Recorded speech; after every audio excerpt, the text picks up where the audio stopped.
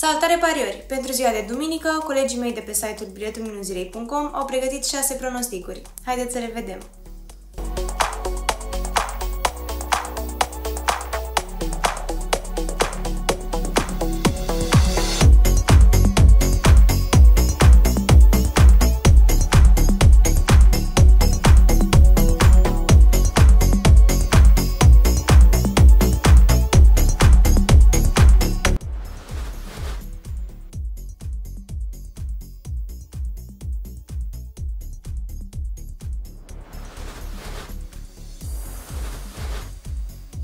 Benevento Roma Tipsterul BMG spune că la această confruntare oaspeții sunt mari favoriți la victorie. Aceștia se luptă în topul clasamentului din Serie A, în timp ce gazdele luptă pentru a se menține cât mai departe de locurile retrogradabile. Prin urmare, este de așteptat să vedem un meci dominat de oaspeți și având în vedere că ambele formații au fost implicate cu regularitate în meciuri cu goluri multe, pronosticul tipsterului nostru este X2 și 2-4 goluri. Milan-Inter Tipsterul David Chirilă se așteaptă ca Inter să se impună în derbiul de duminică. Acesta spune că Milan suferă o ușoară scădere de formă, iar Inter va încerca să profite de acest lucru și să-și întărească poziția de lider al clasamentului din Serie A. Prin urmare, pronosticul tipsterului nostru este pauză sau final 2. Montpellier-Rennes în opinia lui Radu Oprea, ambele echipe au jucători foarte buni pe faza ofensivă, așa că ar trebui să vedem un meci spectaculos.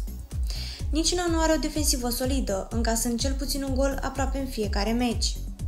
Așadar, tipsterul nostru mizează cu încredere pe faptul că ambele echipe vor marca.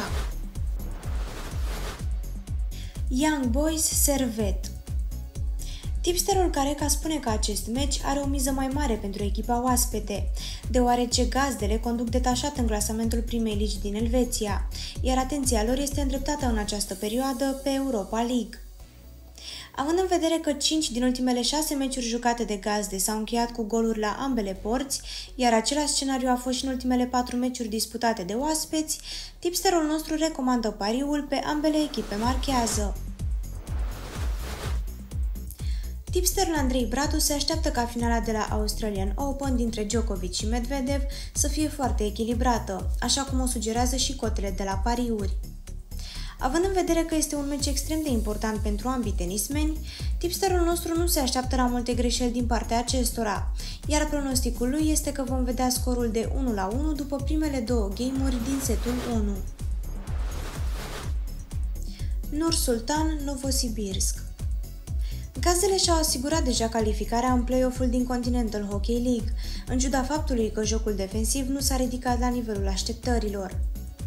De cealaltă parte, oaspeții se află pe locul 9 în clasament și au o medie de 2,33 goluri înscrise per meci. Cele două echipe s-au întâlnit de trei ori în acest sezon și de fiecare dată Novosibirsk a reușit să marcheze cel puțin 3 goluri având în vedere că gazdele și-au asigurat calificarea în play-off, iar defensiva lor nu este foarte solidă, tipster Andrei Cinculescu recomandă pariul pe cel puțin două goluri marcate de oaspeți. Dacă ți-a plăcut acest clip, nu uita să apeși butonul de like și să te abonezi la canalul nostru.